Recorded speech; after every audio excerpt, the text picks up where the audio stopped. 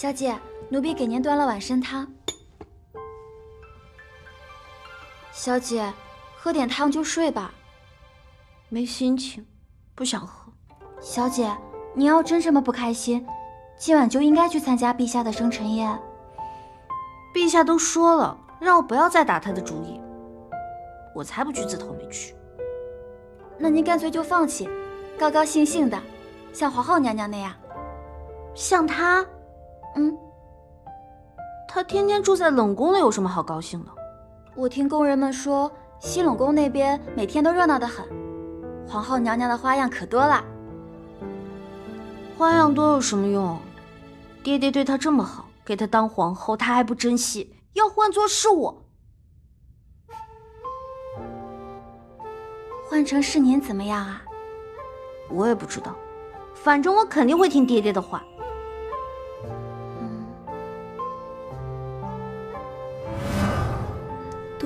的姑娘啊！哎，每每本宫看到你跟皇后站在一起的时候，总是生出一种错觉，你才是皇后。毕竟，无论从仪容啊、教养啊。你才是真正担得起“母仪天下”这个词的人。皇后娘娘驾到！娘娘，你怎么回来了？难道陛下怎么了？我怎么不能回来了？这是本宫的香罗殿，还是说你根本不希望我回来？啊我，我只是……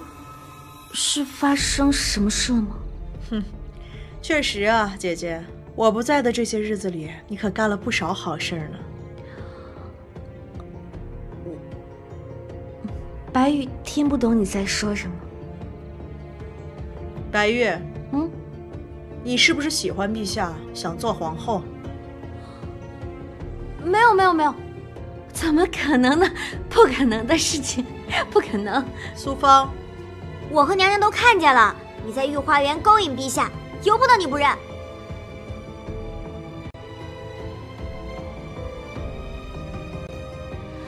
小姐，你快和娘娘说说，你已经对陛下死心了。你说什么呢？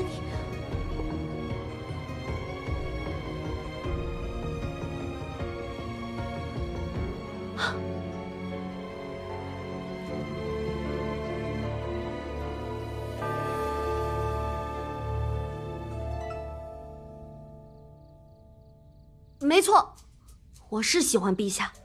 而且我觉得我比你更适合当皇后。你竟然，娘娘她竟然承认了，承认了就好。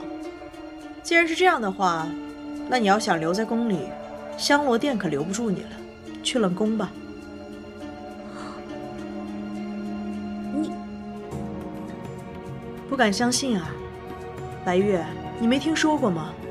去过冷宫的女人。可是斩断前缘，再世为人呢？有仇报仇，有怨报怨。不过你放心，冷宫已经被我改造好了，惊不惊喜？意不意外？娘娘，小姐，小姐她其实一点都不喜欢陛下，她都是信口胡说的。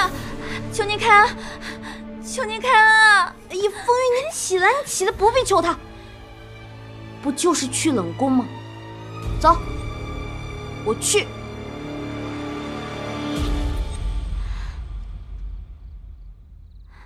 娘娘，确定要这么做吗？哎呀，那不然呢？今晚的情况你没看见呐？多好的烧烤会呀，说没就没了。哎，反正也没退路了，就先这么做吧。这里看着虽然还不错，可总归是冷宫啊，小姐。皇后娘娘也太欺负人了，我们不如回府相府算了。不行，爹爹让我留在宫里，我不能回去，我不能走。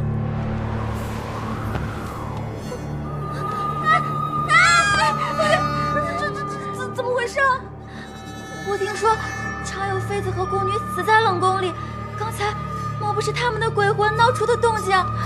你不要吓我！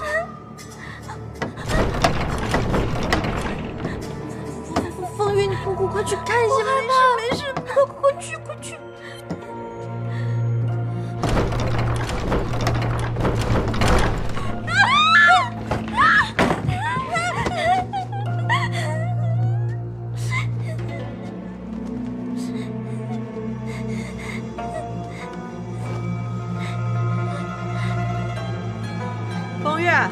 出去。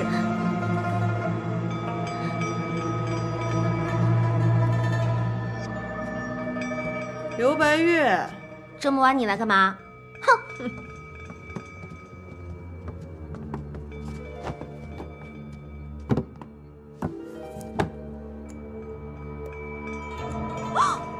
你你要干什么？你我同为爹爹的女儿，我告诉你，你不要乱来啊！这是我专门准备的鼠药。鼠药？刘白玉，你要得愿以偿了，不就是想成为皇后吗？我帮你实现这个梦想。皇皇皇后？哈哈哈哈哈！你看，看你看那脸吓的，这是鼠药，是给这只老鼠准备的。还有刚刚在香茅店，我都是演的，一点都没看出来吧？这一招呢，看似是杀，实则是捧，目的就是为了帮你取得其他人的同情和怜爱。你现在一定又在演戏，我才不信呢！我现在真没骗你。啊哎，我跟你说明白点吧，就从今天这事儿，我算是彻底发现了，只要我在皇宫一天，我就没有人权和自由，我就得一直受刘谢和段云帐的摆布。所以我决定了，我得反击，我得让他们俩自己去斗去，我主宰自己的命运，我让想留的人留下来，想出去的人出去。什么意思啊？就是让你留下来，让我出去。哎呀，你那点伎俩太慢了，我得帮你提速。只要你早一天当了皇后，我就能早一天出宫了。就真的吗？你真的愿意帮我吗？你就一点都不喜欢陛下？哎，怎么说呢？段云帐确实还是有几个优点啊，比如说，呃，当皇帝勤勉认真，嗯，这书读得多，脑子又没少，对下人也比较有礼貌，呃，长得也确实是有那么一点帅。但有什么用呢？人家喜欢的是风花雪月，我喜欢的是萝卜白菜，我们俩注定炖不到一锅去。你还在犹豫什么呀？你不就是害怕刘谢吗？反正刘谢也只是需要一个女儿来当皇后，咱俩谁当不一样啊？而且你还比我听话一点。你说的是真的？嗯，只要咱俩联手，一定能成。那我们应该怎么做？哎，不，不是，这这没人。哦，对，咱们俩首先吧，得有一个计划。就我见着他之后，啪给你一嘴巴子，然后你回。